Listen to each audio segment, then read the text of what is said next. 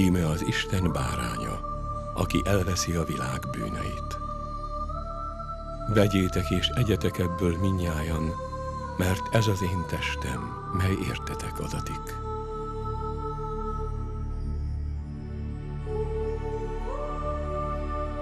Vegyétek és igyatok ebből minnyájan, mert ez az én vérem kejhe.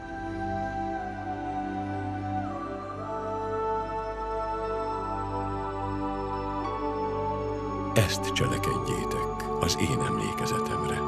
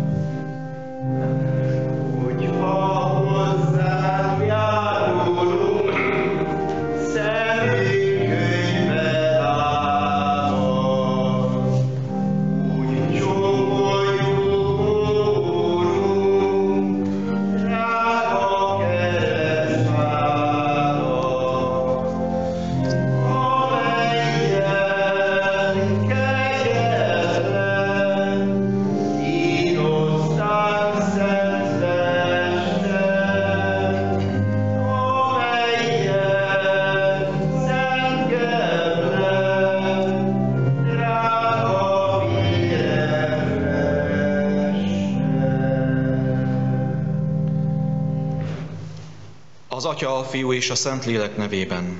Amen. Az Úr legyen veletek. És Mai szentmisét fölajánlom élő Jánosért és családjáért.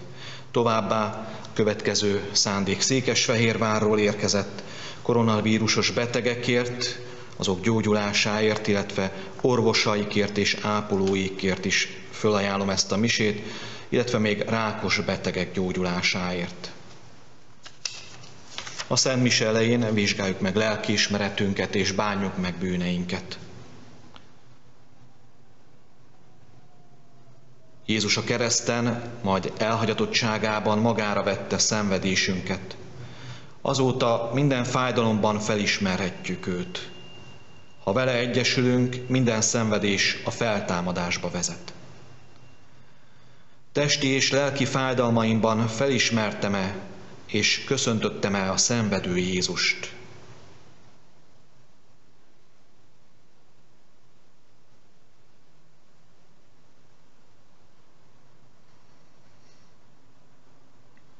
Vele egyesülten örömmel ajánlottam-e fel szenvedéseimet másokért.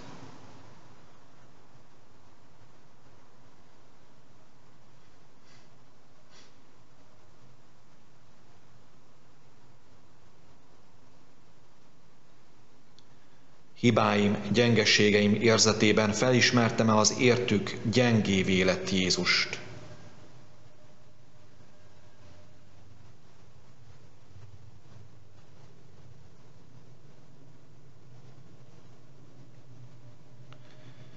Szenvedésemben, kedvtelenségemben gondoltam-e arra, hogy a sötétségből szeretet vezet ki?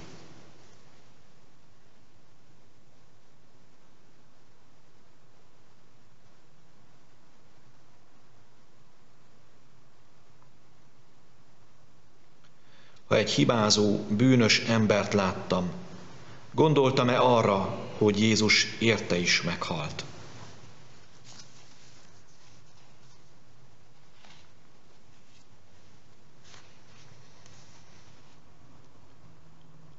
Urunk Istenünk, könyörülj rajtunk! Urunk, mutasd meg nekünk irgalmasságodat! És add meg nekünk Irgalmazzon nekünk a mindenható Isten, bocsássa meg bűneinket, és vezessen el az örök életre.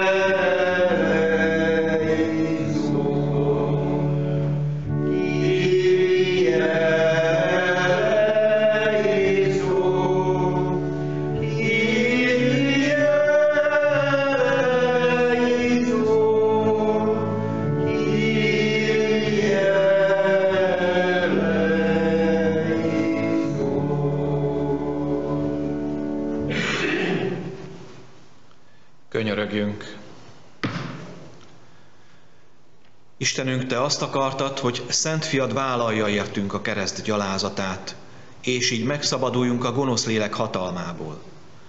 Kérünk, add meg híveidenek, hogy elnyerjük a feltámadás kegyelmét. A mi Urunk Jézus Krisztus, a Te fiad által, aki veled él és uralkodik a Szent Lélekkel egységben Isten mindörökkön örökké. Amen.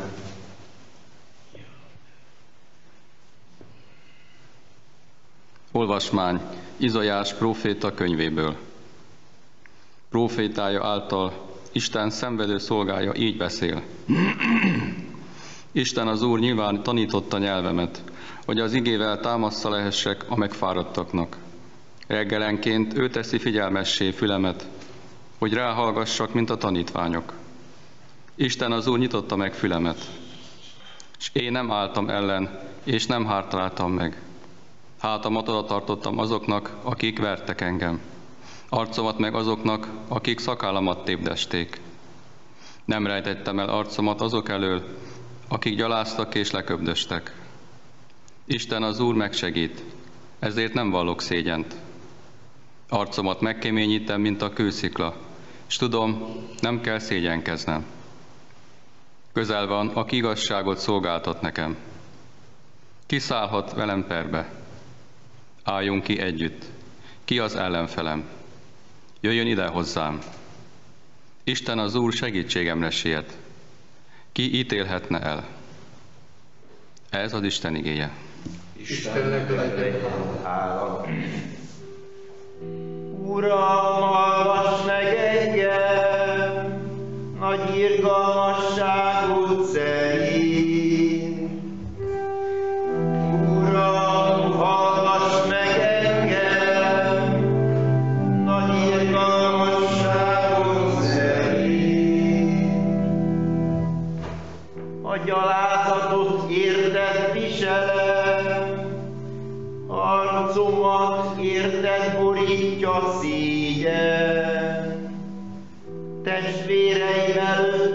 Yeah.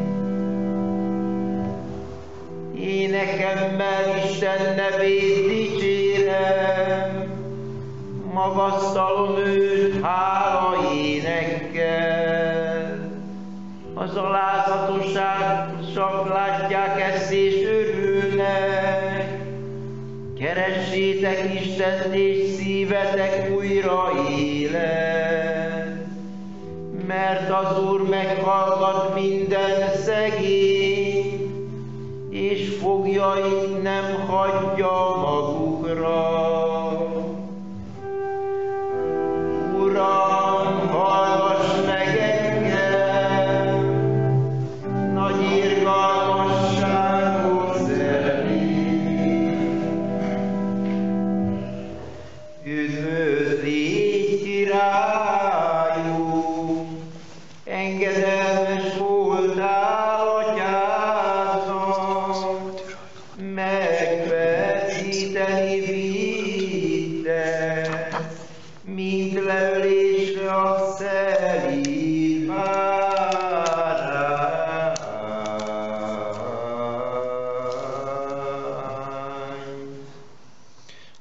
Legyen veletek!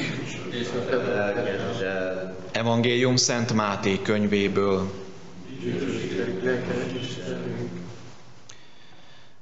A betániai vacsora után a tizenkettő közül az egyik, akit Karióti Júdásnak hívtak, elment a főpapokhoz és megkérdezte tőlük. Mit adtok nekem, ha kezetekbe juttatom Jézust?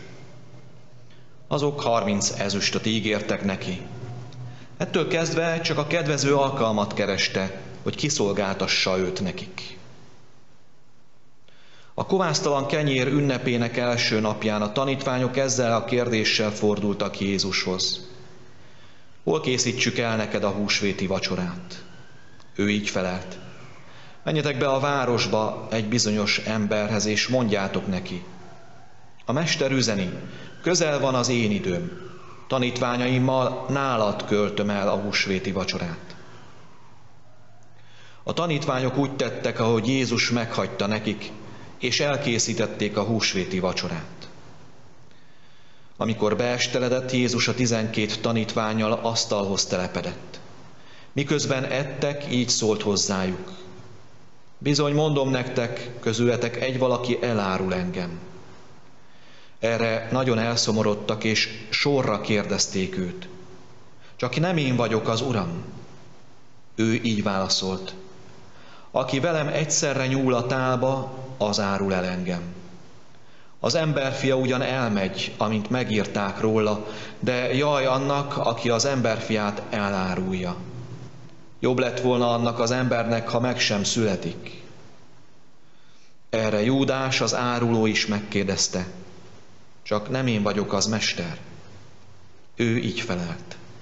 Te magad mondtad. Ezek az evangélium igéjé.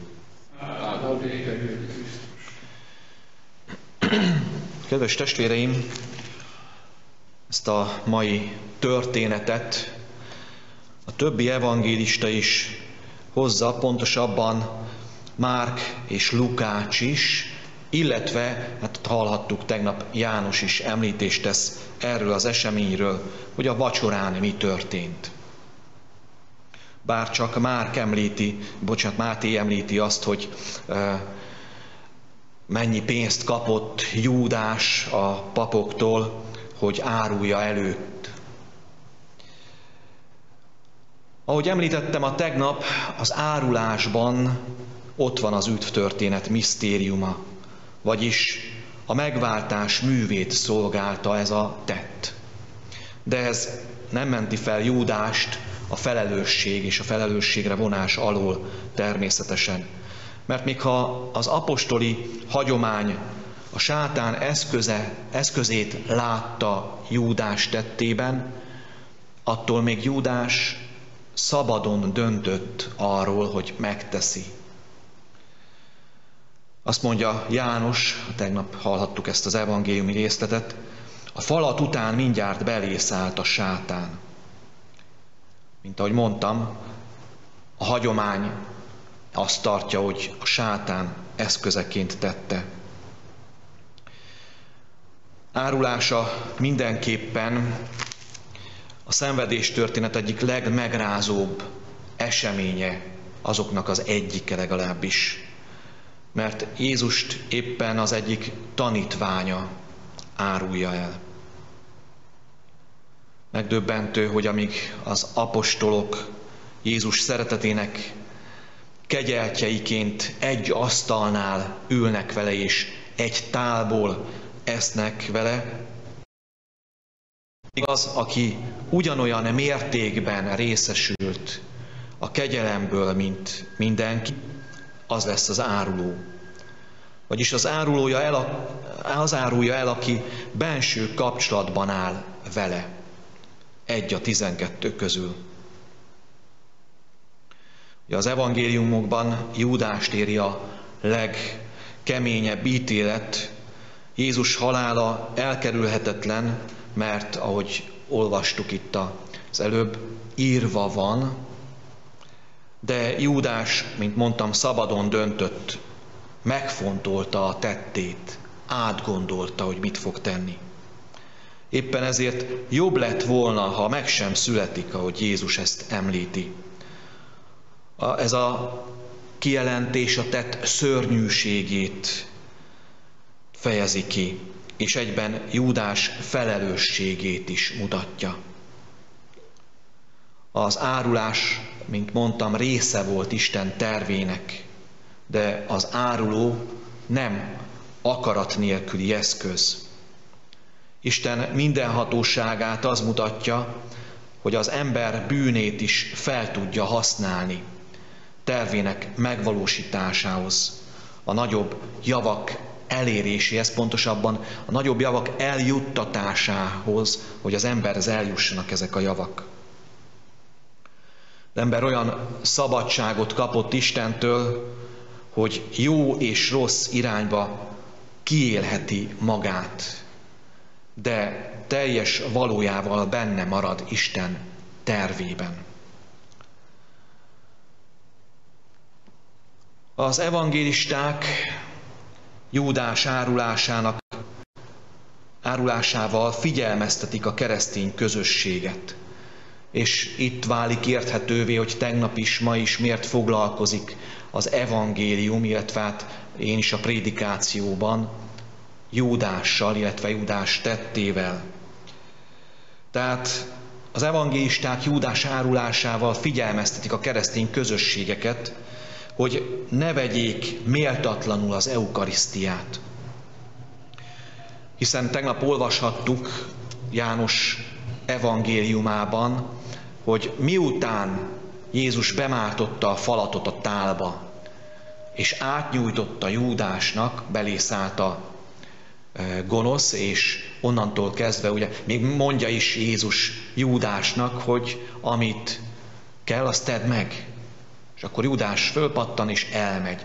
Tehát amikor már alapítja Jézus az oltári szentséget és az egyházi rendet, akkor már Júdás nincs jelen, nincs köztük János evangélium, evangéliuma szerint. Tehát Júdás a vacsora elején távozik, mert a jelenléte zavarta volna a szeretet végső tanúságtételét. Ez alatt pedig nyilván az eukarisztiát kell értenünk, hogy Jézus Krisztus saját testét és vérét nyújtja át a tanítványoknak. Érthető módon az árulás ténye elszomorítja tanítványokat, az apostolokat. De ebben már benne van a, az, ősi, az ősegyház elmélkedése, mely szerint mindenki alázattal belátja, hogy ő maga is árulóvá lehetett volna, illetve árulóvá lehet. Mert mindenki ugyanannyi kegyelmet kapott az asztal körül, mint ott az utolsó vacsorán, mint pedig itt az oltár asztala körül. Mindenki ugyanannyi kegyelmet kapott akkor, és ugyanannyi kegyelmet kap ma is. Abban a történetben, amit hallottunk, bármelyikük lehetett volna áruló. Ezt az apostolok szépen átgondolták, mind János evangélista, mind a többi evangélista is, amikor papírra vetették Jézusnak a cselekedeteit. Ők is lehettek volna árulóvá. De ez ma is igaz, hogy mi is lehetünk árulóvá, annak ellenére, hogy itt az oltárról mindannyian ugyanúgy részesülünk a kegyelemből. Éppen ezért megfontolandó ez az evangéliumi részlet, ez a történet, mert ránk is vonatkozik mindaz, ami abban áll. Amen.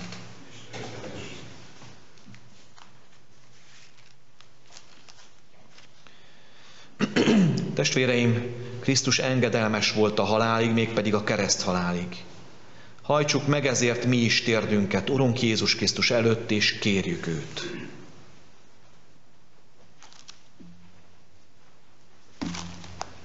Egyháza vezetőért, szolgáért és egész népért, hogy a tanítvány fülével figyeljenek az isteni szóra. Kérjük Urunkat! Kérünk téged,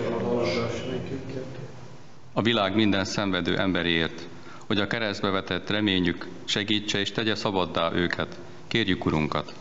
Téged, hallgass meg minket. Önmagunkért és közösségünkért, hogy példája nyomán türelmesen viseljük el embertársaink megbántását, kérjük Urunkat!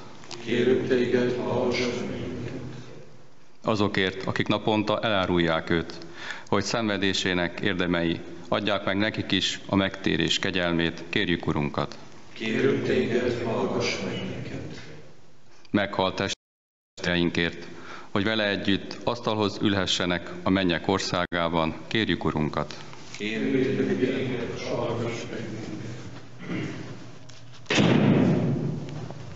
Hálával imádkozzunk hozzád, megváltó Istenünk, mert meghallgatod a szegény imáját, és benne örvendhet az Isten kereső, aki az atyával és a Szentlélekkel élsz és uralkodol mindörökkön örökké. Amen.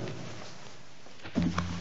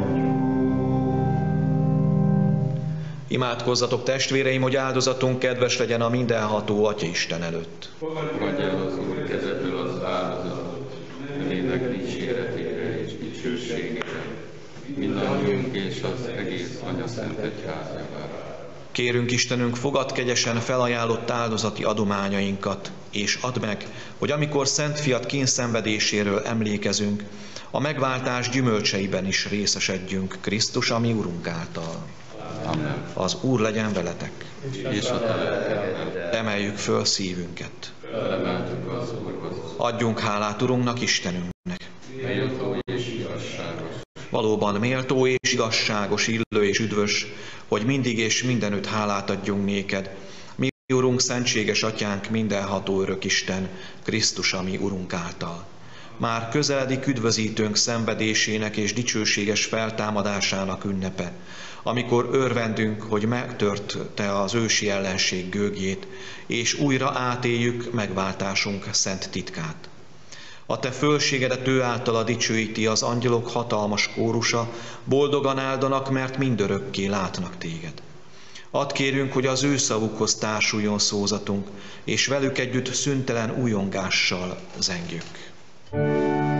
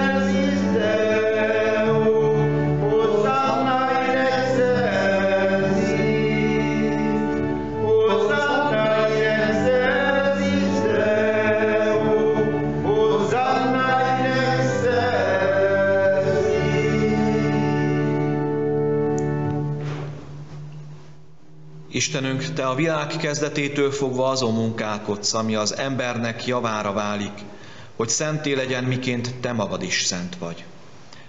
Kérünk, tekints az itt egybegyűlt népedre, és áraszt ki szent lelked erejét, hogy ezek az adományok testévé és vérévé legyenek, szeretett fiadnak Jézus Krisztusnak, akiben mi is fiaid vagyunk. Ám bár a halál fiai voltunk, és többé már nem is közeledhettünk hozzád, te mégis örök szeretettel szerettél minket. Szent fiad ugyanis, aki egyedül volt igaz közöttünk, ami kezünkre adta önmagát, és engedte, hogy az emberek keresztre feszítsék. De mielőtt az ég és a föld között karját kitárta, hogy a te eltörölhetetlen szövetségednek jelét adja, meg akarta ünnepelni tanítványaival a húsvétot. Vacsora közben kezébe vette a kenyeret, majd neked hálát adva áldást mondott, megtörte, tanítványainak adta, és így szólt. Vegyétek és egyetek ebből minnyájan, mert ez az én testem, mely értetek adatik.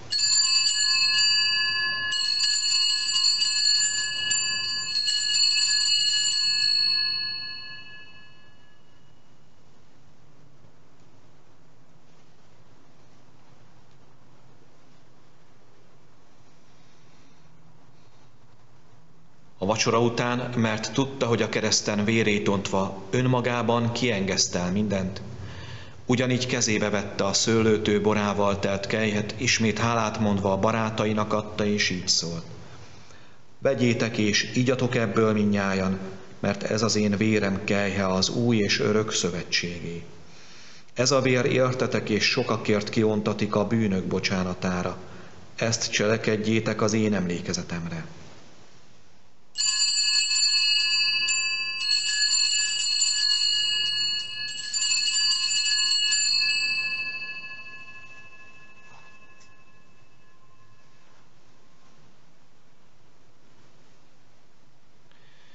Íme hitünk szent titka. Haláladat hirdetjük, Urunk, és hitel valljuk feltámadásod, amíg el nem jössz. Megemlékezünk tehát Urunkról, Jézus Krisztusról, aki húsvéti bárányunk és Istennel való békénk záloga. Megünnepeljük halálát és feltámadását a sírból, és eljövetelének boldog napját várva, felajánljuk neked hűséges és igaz Istenünk az áldozatot, mely az emberekre bőséges kegyelmet áraszt. Irgalmas atyánk, tekints jóságosan azokra, akiket magadhoz kapcsolsz, és add meg nekik, hogy Krisztusnak ebből az áldozatából részesedve, a Szentlélek erejével egy testbe gyűjjenek, amelyben minden megoszlás megszűnik. Tarts meg minket a szív és a lélek közösségében, Ferenc pápánkkal és Péter püspökünkkel Segíts minket, hogy együtt készüljünk országod eljövetelére, addig az óráig, amíg majd eléd állhatunk. Hogy szentek lehessünk a szentek között a mennyben, a boldogságos Szűz Máriával és apostolaiddal, valamint elhunyt testvéreinkkel, akiket a Te irgalmadba ajánlunk.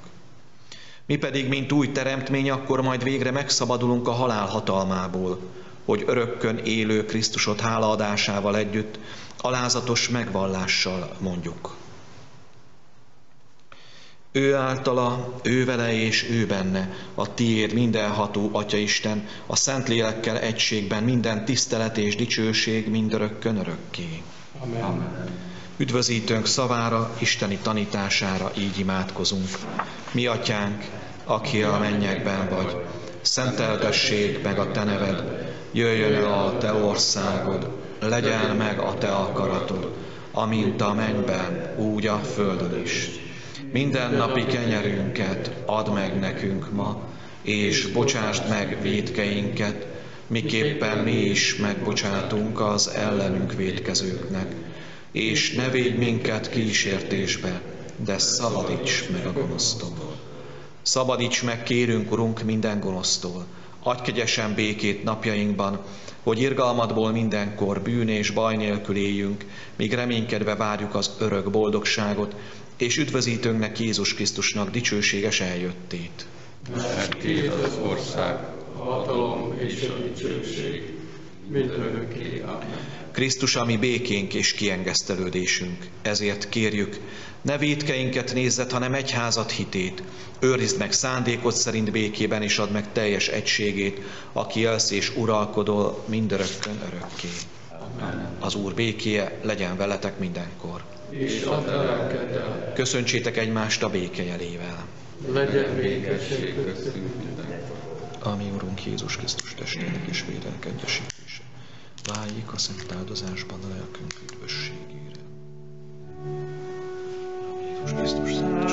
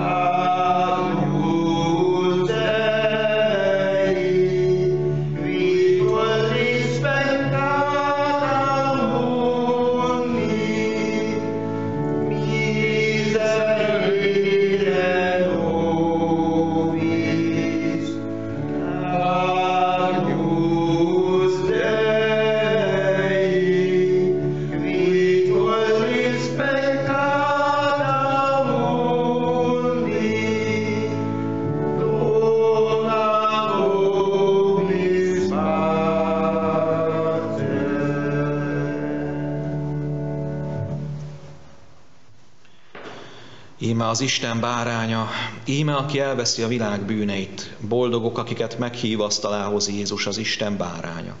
Uram, nem vagyok méltó, hogy hajlékomba jöjj, hanem csak egy szóval mond, és meggyógyul az én lelkem.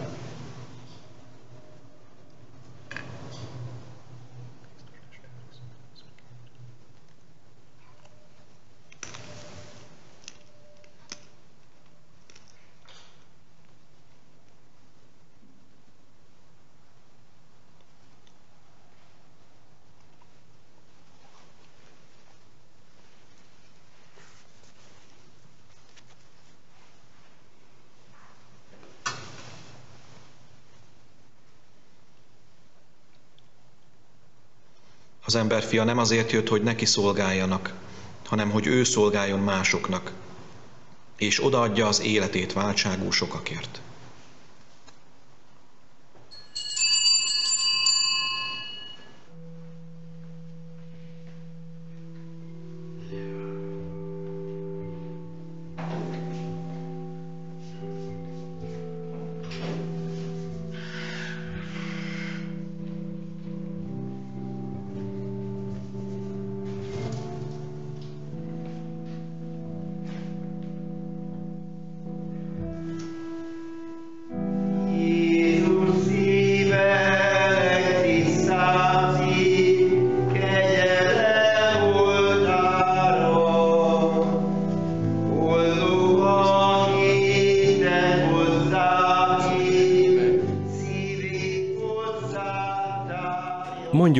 Együtt a lelki áldozás imáját.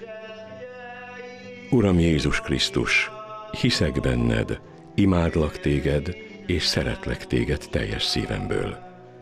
Bánom minden bűnömet, mert szeretnélek magamhoz fogadni a szent áldozásban, hogy veled élhessek. Jöjj hát, ó Jézus, legalább lélekben költözz a szívembe, és védj lakást benne örökre. A mi Úrunk Jézus Krisztus teste őrizzen meg engem az örök létre. Köszöntelek, ó Jézus, az én szegény szívemben. Neked adom magamat egészen. Tied akarok lenni életemben és halálom után is. Amen. Tudom, hogy tiszta szívvel,